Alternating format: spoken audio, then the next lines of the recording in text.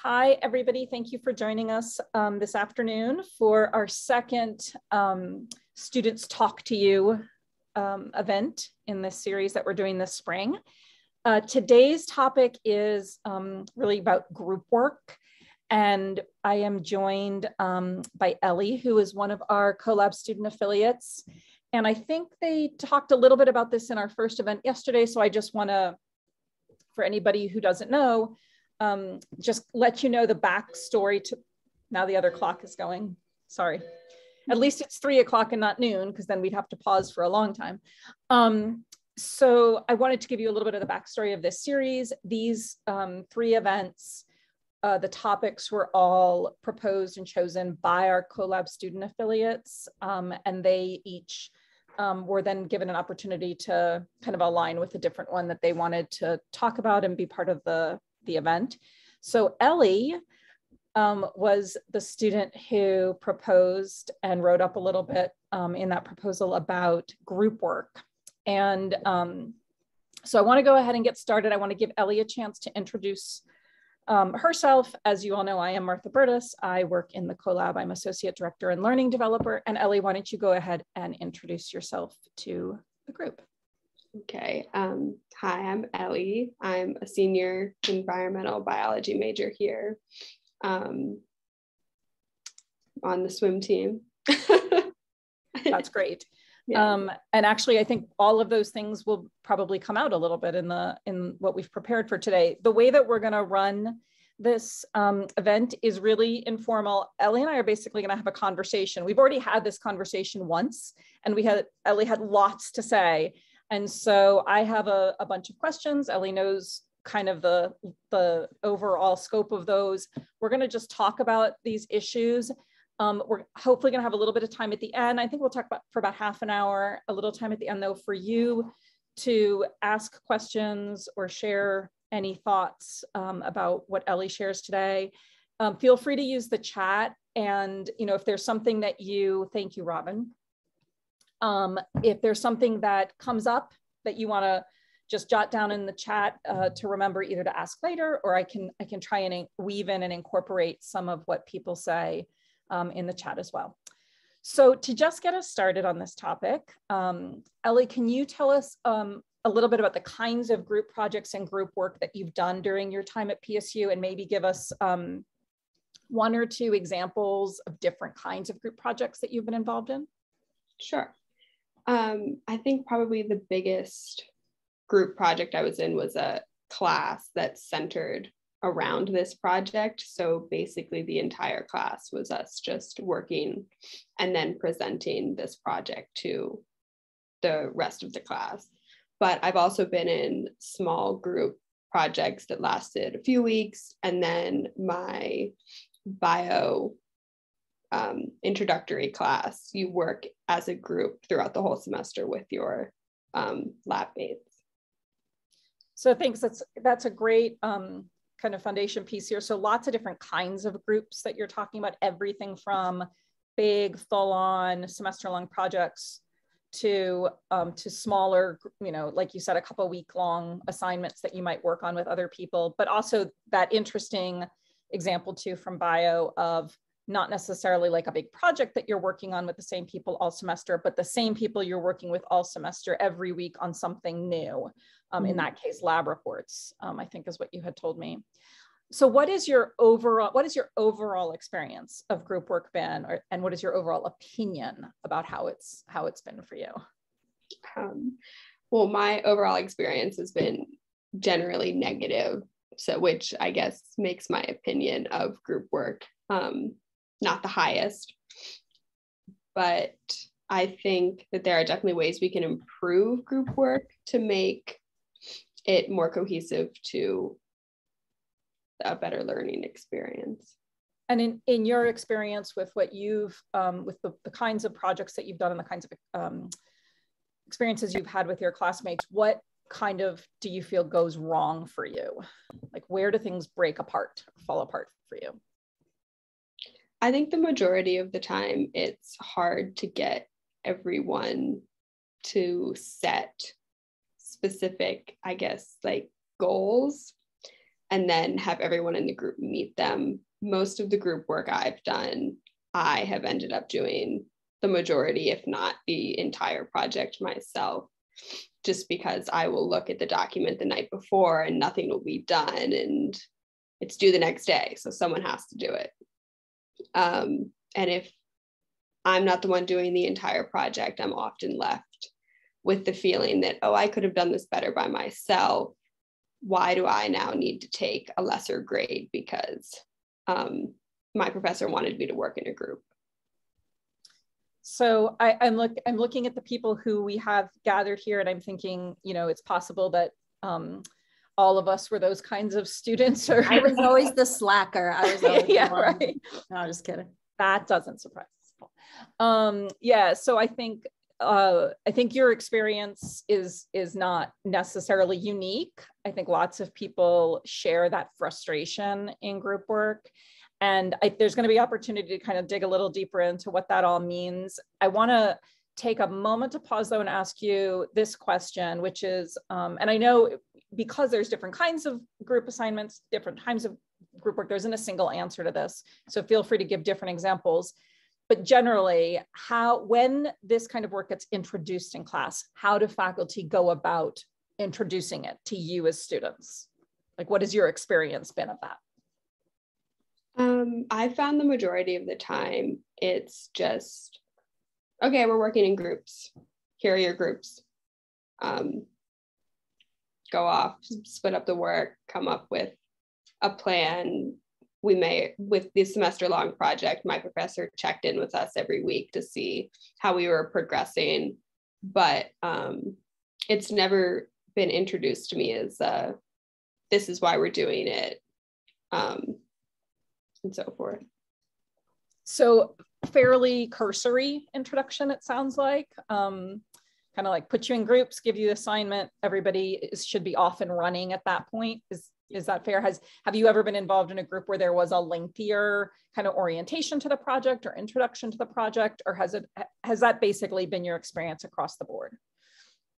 The professor will generally introduce the project itself, but mm-hmm. not um, the like the group work or anything like that. Gotcha. Mm-hmm. So a, a really interesting observation. I Fascinating. We're already getting somewhere. so um, so yeah, so there's there's the introduction of the assignment, which is, you know, what is the work that you're going to do? But then what about introducing that component that is group work um, and how um, how that might need to how students might need to be oriented to that.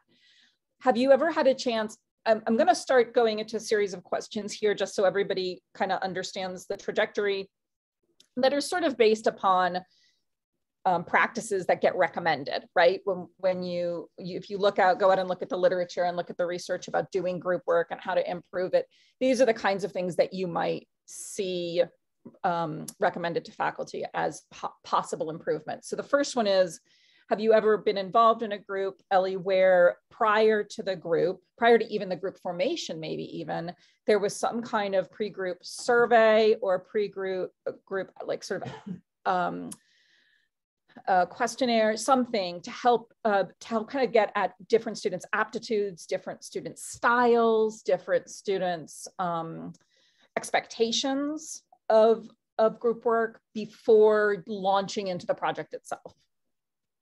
No, I've never been a part of a project where that has been done prior. Okay. Most of the time, if not all the time, it's these are the random people you're assigned with. Go work um, with them. As a follow up to that, have you ever been in a in a in a, in a assignment or project where one, even once the groups are formed, either um, like informally or as a requirement, you had you kind of came up with kind of group rules or talked about sort of like who are the different people in this group? What are our different expectations? What are our different strengths and weaknesses? What's our style of working? Has that ever been like an official component of the, the project or just something that you informally did as a group? For the project I mentioned earlier that was semester long, we had to come up with sort of a schedule at the beginning of the project and then try and keep up to date with our goals um, throughout the semester and check in with our professor. Um, I didn't find that to be helpful. It was still myself doing the majority of the work, um, just in smaller increments.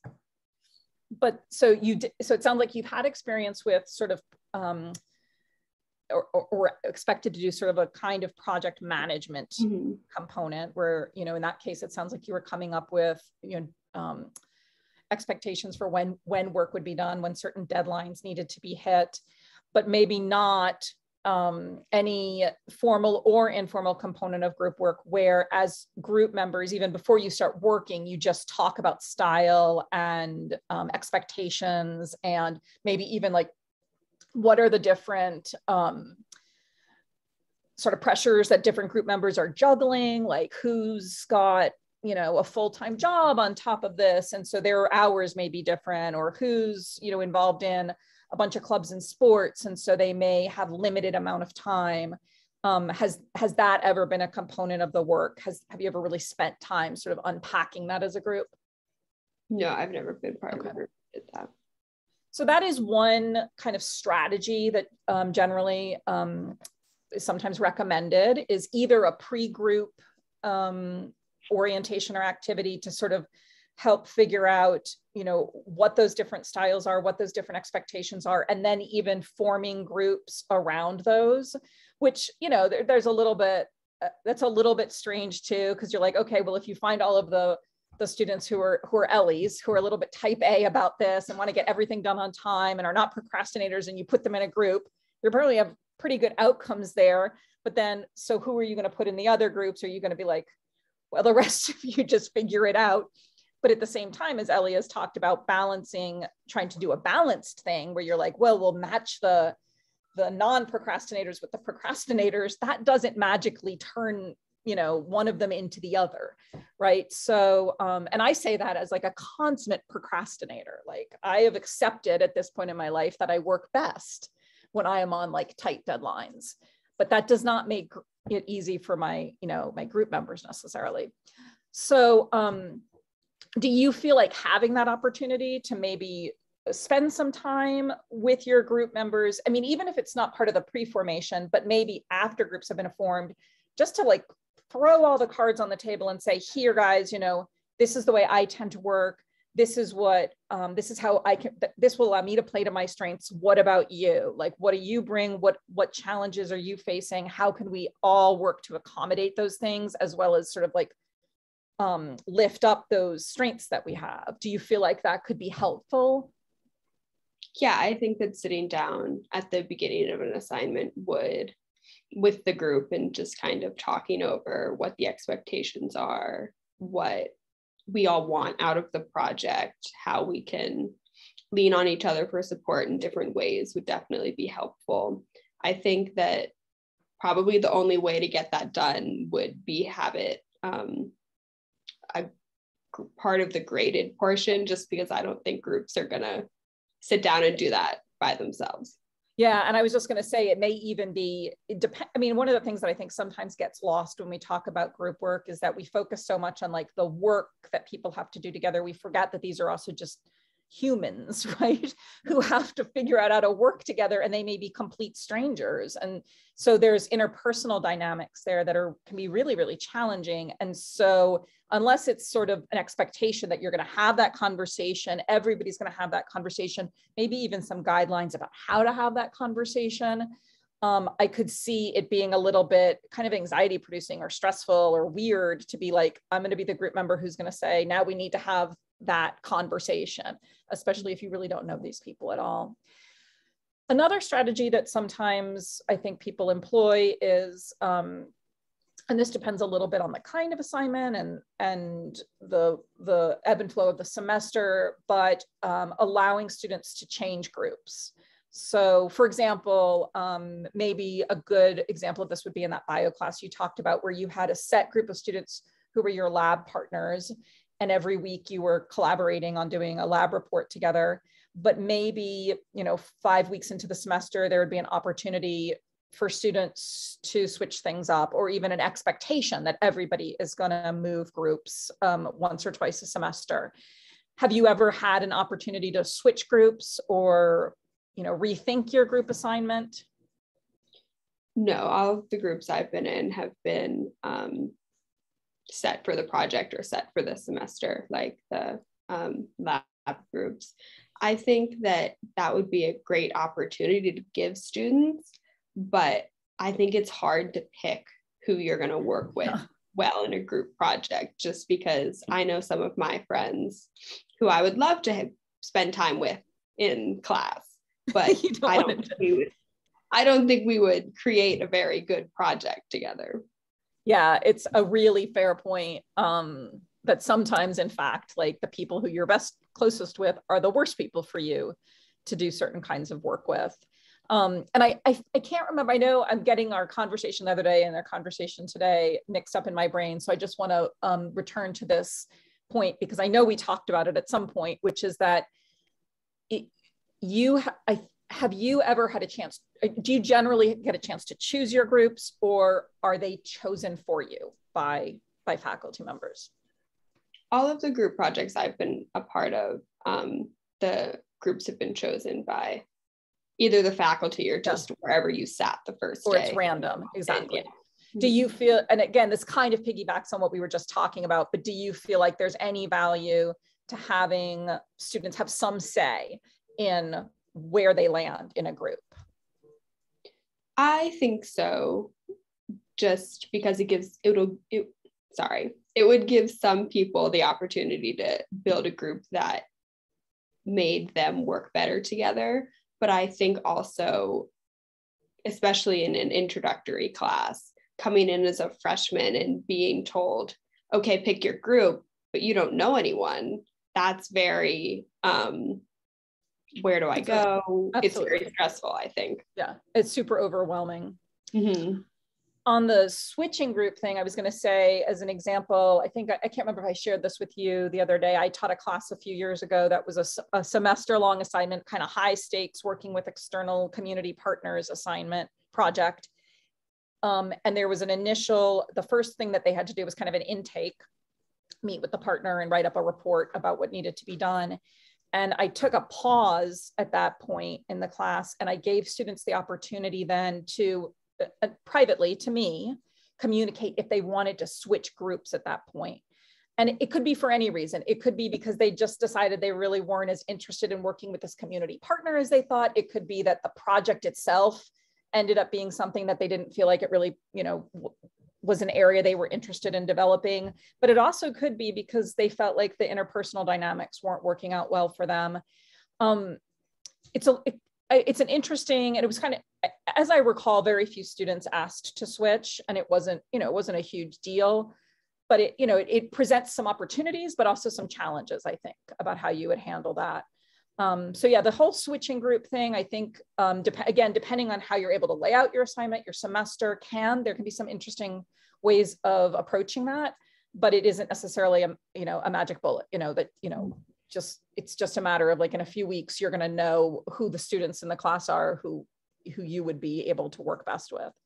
Um, so another strategy that is sometimes recommended is to typically what tends to happen when we assign group projects is we really like hit the hit the ground running, right? Like you're in a group, it's a big project. Here's the big first big assignment, like the one I just described. Like that first thing that that the groups were doing was pretty high stakes, going out and writing these reports another strategy is to be is to kind of ease into this a little bit recognizing again that what you're dealing with here is not just about getting work done but about getting a group to work together and so maybe starting with some more lower stakes ungraded maybe or you know barely graded work maybe a little bit more um, less formal work a little bit more fun work even as a way for groups to just a get to know each other right um, but also to begin to understand a little bit about the different ways in which they work and how they work together. Have you ever had a chance in a group project to do that kind of um, approach where you know there were some lower stakes, smaller things that you did as a group first, just to ease into the group work as opposed to all in all at once? I have not, but um, I think that's a very interesting way to introduce group work. And I think it would be very helpful if more professors would start with that, if not only do group work in that regard, with it mm-hmm. being very low stakes. Um, your final grade isn't determined by how well you work with these people. Um, because I do understand the value of group work, and I think that having to work with other people is something you're going to have to do the rest of your life. But when your final grade is being determined by the quality of the work other people produce, it um, makes it very stressful and very hard to just sit down and think, okay, I just have to let what happens happen. Yeah. So can I just jump in with yeah. two questions? Because you're Absolutely. saying so many interesting things. Mm-hmm. I, I do notice that you keep returning to the the grade and how and I remember this, you know, like how all like exactly what you just said, right? Like my grade depends on someone else's work and that just feels so unfair sometimes. Mm-hmm. Do you feel like um, you would have less frustration with group work if that grading piece was not in the mix? Yes, definitely. I think it would be much easier to work with people towards a maybe even a better end product because then you kind of have to sit down and help them with their weaknesses as opposed to reading through it now. and presenting them or reading through it and thinking i'm just going to do this because the quality of work you're producing isn't going to Sorry. give us a grade that's yeah. Up to That's so fascinating. so fascinating, Ellie. And it's not easy what you just said in the sense like we can't just be like, oh, we solved it. Now we just yeah. get rid of grades, right?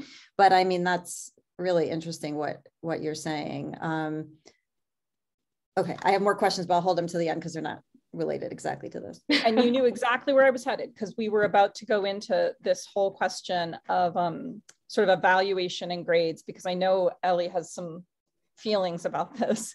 Um, and uh, before we do that, I'm just going to mention the one other practice, and we won't get into it because you've already kind of talked about it. The one other practices that is that's often um, suggested is this idea of having um, uh, the way I've referred to it before is a kind of group contract. So like part of the group work is developing a project plan that lays out, you know, the various roles of the members, um, the the work that each member is going to do, the deadlines that they need to hit, and then um, and then having sort of maybe even weekly check-ins against that contract where faculty and group members sit down and talk about how things are progressing. Um, it's not again it's also not a magic cure. And i think the way it, when i've seen it work best it's when there's also been an opportunity for revision built into that process so that at, at certain points the group could come back and revise the contract in collaboration with their professor to make sure that um, you know, they haven't set themselves up for something that's impossible. Like if they get three weeks in and discover there's a problem, they can they can go back and they can kind of rejigger stuff. So that's another practice. The um, Ellie did mention, you know, having had experience with that um, approach as well, and maybe it not being also not being the magic solution. So that so now I really want to dig in, and Robin has kind of started on us on this dig into sort of like where are you, things really see oh there was a hand um oh Leslie sorry sorry. Yeah yeah. Whose hand was it?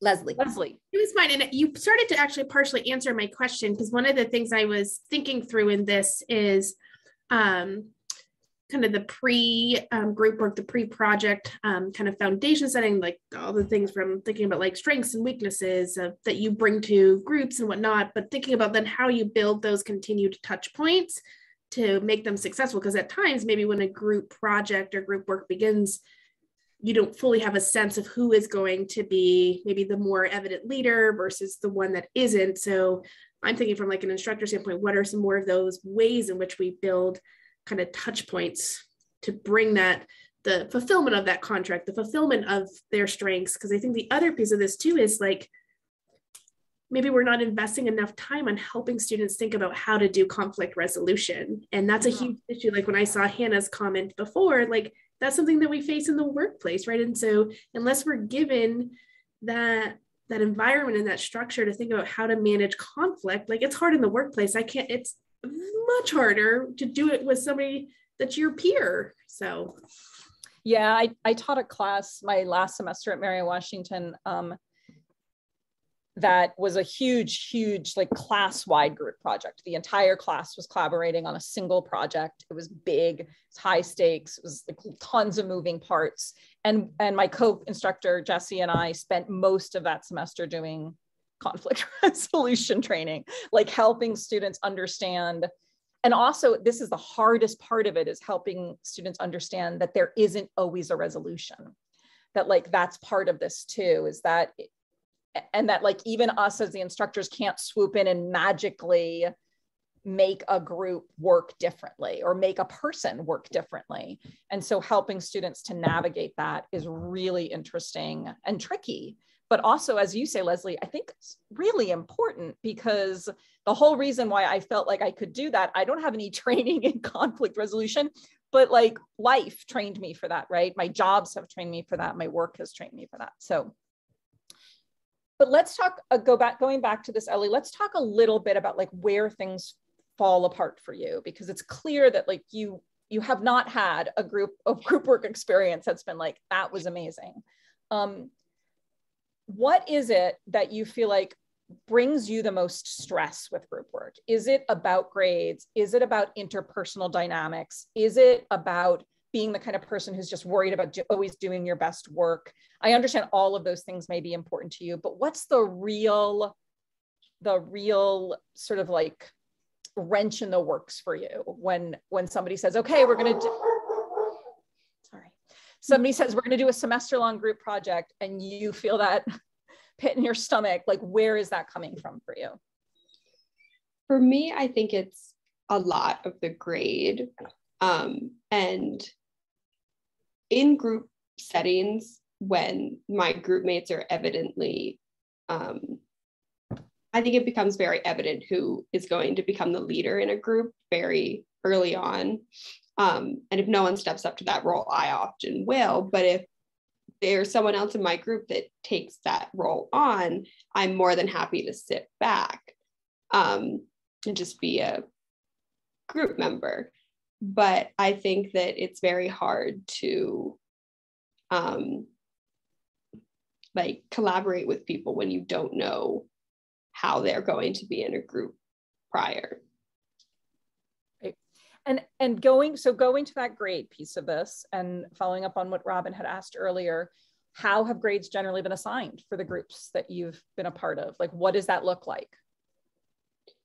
It is usually um, everyone gets the same grade. If not, um, the everyone gets the same grade on what we turn in, but then based on how you present the information, you get a separate grade based on your presentation because obviously it's easier to tell who doesn't know the material when you're standing in front of a class presenting it are you ever have you ever been given the opportunity to, to do either self-evaluation or peer evaluation for group work and how does that go? I think all of the group projects i've been a part of have done at least peer evaluation. And even if i do the entire project i will never say that to my instructor. Um, i just feel so terrible for um, to, to ruin someone else's grade. I feel as if I don't know what's going on in other people's lives. And I, while I'm upset with this person, I just can never bring myself to email my professor and say, you know, they didn't do anything. Yeah, if there's one takeaway I want people to hear, um, it's what you just said, which is that peer evaluation, which I think we so often look to as being like how we solve this is not a perfect tool. And for all the reasons that you just said, Ellie, there are students who are just, I mean, if we're going to talk about like how just the interpersonal um, dynamics of group work, working with a bunch of strangers for a semester is difficult, then add on, now we're going to ask you to evaluate those people based on some criteria that may not, probably don't really encompass the holistic view of who these people are and what's going on in this group. Um, and if, you know, I've, I've had experience doing peer evaluation and I, I don't do it anymore because it was always such a fraught thing to ask students to do that because I would both have those students like you, Ellie, who would never want to say anything, even if there really was a lot to be said, but also students who would abuse it um, because it was the only thing they had, right? As a way to kind of communicate with me that this was not working. And so, um, so peer evaluation, I think, is really fraught, really difficult to do well. Self-evaluation, that hasn't been something that you've necessarily had as part of your group work. Um, I not think maybe, remember.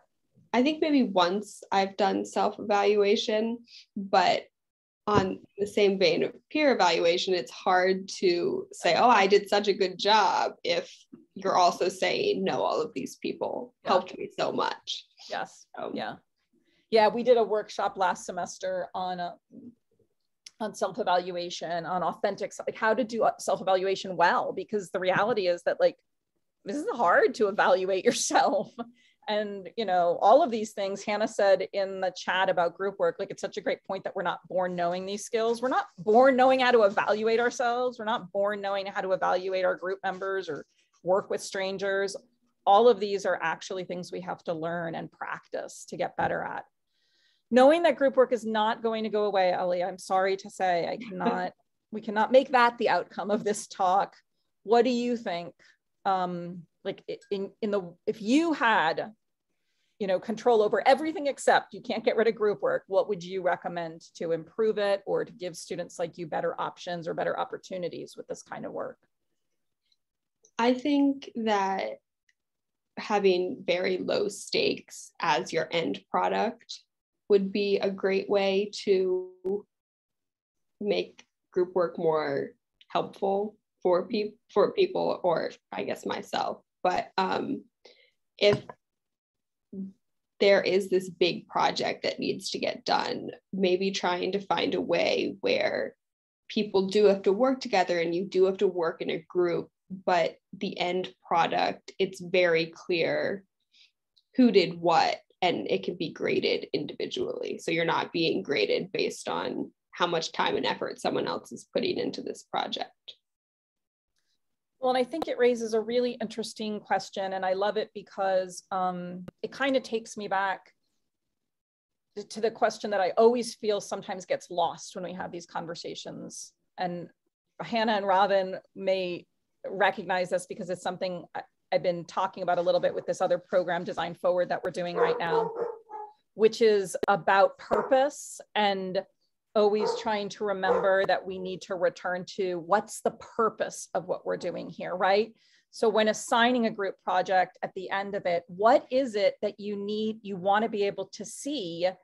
What change is it that you want to be able to witness in Ellie from having done this group project, right? And so is there another way for Ellie to demonstrate that or show that or explain that or reflect upon that that isn't everybody gets the same grade and it's or we're basing this on peer evaluations and you have to rank your classmates against each other like is there some other way for us to kind of witness what ellie has experienced and you know assess that um, as as you know a final grade for a project and i think there's a lot of opportunity there that, that sometimes we look over and we miss that's kind of the end of our formal questions i want to open this up now and if other people i have opinions or thoughts or questions for Ellie, um, feel free. Yeah, go ahead, Robin.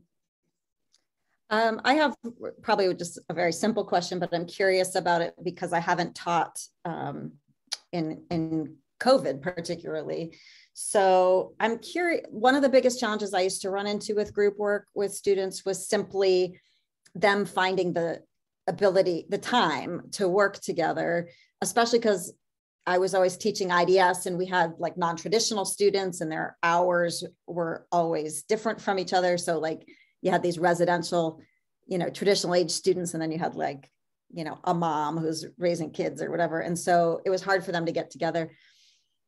And everything was face to face. Like nobody, we never, I mean, just three years ago, no student group was ever like, let's meet on Zoom. I think sometimes they would use like you know whatever random apps they were using but not very often So I guess I'm curious if there's opportunity in group work now with so much Zooming for groups to meet that way a little bit more conveniently. Or the other question I have is, is it that, because right now most of your Zooms are set up for you by faculty. And so I'm curious if student groups are using Zoom to do stuff, or is that, has that not really taken off um, and really more of a thing that you use in your classes when faculty are kind of directing the Zooms? The semester long project that I have been referring to um, was in a class that was on Zoom completely. So we met on Zoom um, as a group, which so that was much easier to um, find time to meet with the group for in my experience but we did have a few meetings where I would log on and two of the members just wouldn't come, which seemed um, crazy because you can sit in your bed and do Zoom. Right. Right. I was thinking about, um, yeah, I mean, and that's like a whole other, just like how do you motivate students? How do you engage them? Like, how do you make it relevant? All those questions. But also thinking like, helping students learn how to run Zooms and like set up the whiteboards and like, you know, just become better, you know, that that could be a key to making um, group work a little easier in terms of the logistics um, going forward. But it doesn't really speak to that, you know. I mean, if they're not motivated, I did like what you said about like you know you make these schedules at the beginning and you do that in so much many group projects but it really doesn't do anything to like relieve the person who's doing all the work but it seems like that would be another place where like digital tools could potentially like one thing we do in the CoLab is like we might have a brainstorming session about what we're going to do and then we oftentimes i.e hannah oftentimes makes these grids for us where we assign the different roles to people but the cool thing is that that's kind of public and visible. So, like a professor could see it, the group could see it. And then we have areas where you can write in like what you did. And so, I'm wondering if somehow um, moving into slightly more digital environments could keep us, um, you know, could help because normally the professors don't see into your group works, right? But with these digital tools, they could see your Google Docs like a little bit more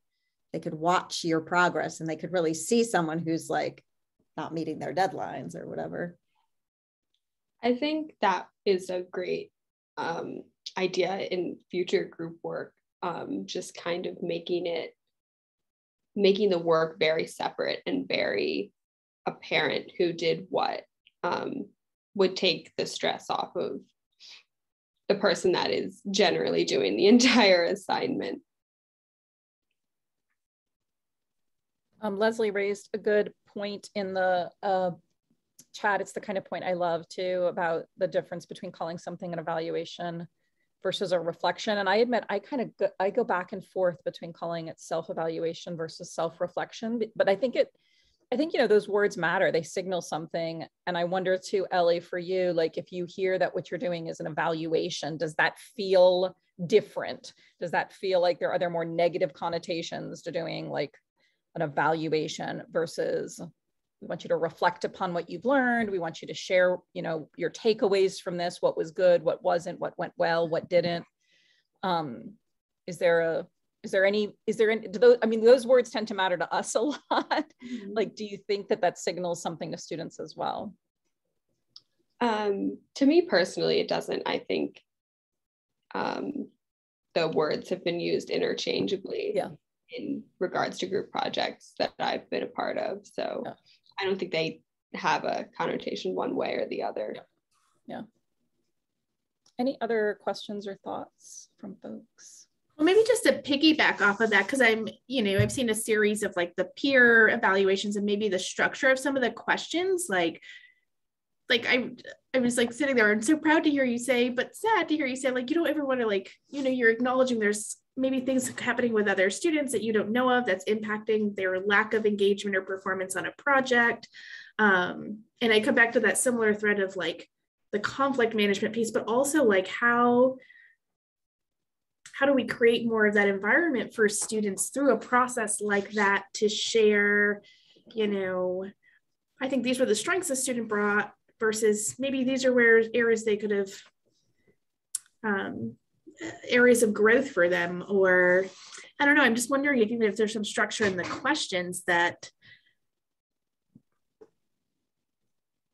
don't help with that. Or maybe it's just peer evaluations aren't the thing to do. I don't know. I think no, I think it's a really good point that like the the way you ask those questions, I think really does matter. Um, and I, I say that because I've I've asked questions badly and gotten bad results with these kinds of tools. And then when I rethought them and asked them in ways that I think are better, I get different kinds of results. So I actually do think that makes a really big difference. I want to say the last time eh, it was in that class I was talking about where we had to do so much conflict resolution. When we did, we did do a, a group evaluation at the end that students answered. It wasn't a peer evaluation. It was like, we might have even called it a group reflection, but we were very clear we weren't looking for them to name names, right? It was about how did you work together as a group? Like, or think of yourself as an organism, the group. Mm. How did the group work? what didn't work well, what did work well, what would you have done differently?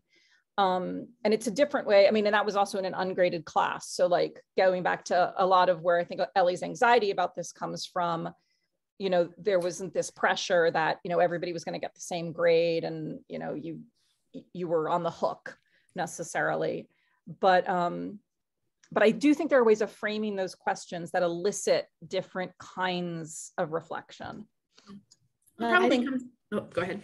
Sorry, I was just going to say that taking the individual out of the question would probably elicit a better response from students just because then it doesn't feel like you're right. um, individualizing someone or harping on one specific person.